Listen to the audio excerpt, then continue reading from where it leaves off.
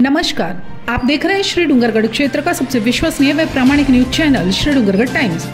आइए देखते हैं आज 14 सितंबर 2024 को हमारे क्षेत्र से खास खबरें एक साथ वीडियो न्यूज़ बुलेटिन में।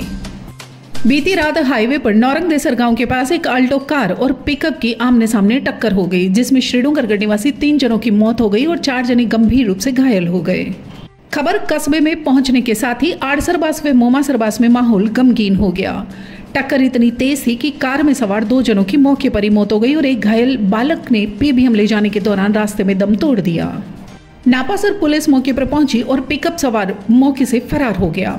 हाईवे अथॉरिटी की एंबुलेंस से मृतकों के शव और घायलों को पीबीएम पहुँचाया गया। टीम के चिकित्सा अधिकारी रवि गुजर ने घायलों को मौके पर संभाला और मौके पर लंबा जाम लग गया, जिसे टीम द्वारा दोनों क्षतिग्रस्त वाहनों को जयपुर हाईवे से हटाकर नापासर थाने पहुँचाया गया और हाईवे पर लगा जाम खुलवाया गया। आज सुबह श्रीडूंगरगढ़ टाइम्स में खबर प्रकाशन के साथ ही विधायक ताराचंद सारस्वत ने घटना पर शोक जताया। उन्होंने मृतकों के परिजनों को सांत्वना दी। सारस्वत पीबीएम अस्पताल में के ट्रोमा सेंटर पहुँचे और घायलों को देखकर उनकी कुशल क्षेम भी ली। उन्होंने डॉक्टरों से घायलों के इलाज में कोई कमी नहीं रखने के निर्देश दिए। शनिवार को नेशनल हाईवे की सड़क हादसों की सड़क बन गई। शनिवार दोपहर उपखंड कार्यालय के सामने एक और हादसा हुआ।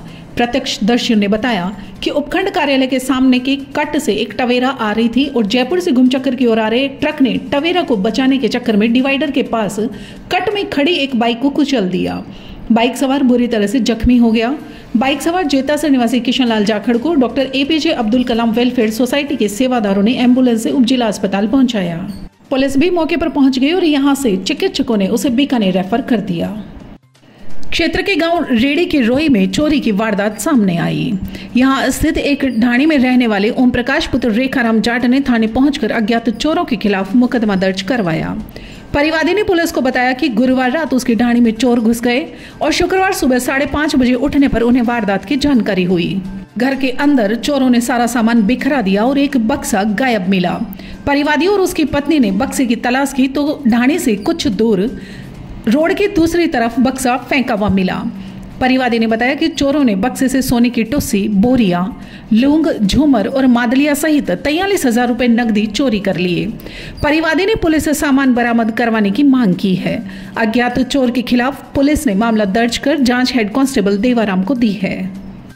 क्षेत्र के गाँव पुंदलसर में भी गुरुवार रात एक शराब की दुकान के ताले तोड़कर अज्ञात चोरों ने शराब की बोतलें और नकदी चोरी कर ली।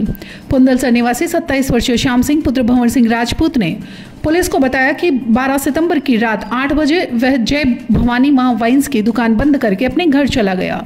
सुबह उसे दुकान के ताले टूटे पड़े मिले। पुलिस ने मामला दर्ज कर जाँच हेड कांस्टेबल हरिराम को दी है। श्री डूंगरगढ़ की कांग्रेस में नया उत्साह व ज़बरदस्त जोश नज़र आ रहा है और ये जोश व उत्साह रेडी में कल रविवार को आयोजित होने वाले विशाल किसान सम्मेलन को लेकर है। शनिवार को पुलिस प्रशासन के अधिकारी मौके पर पहुँचे और मौके का जायजा लिया।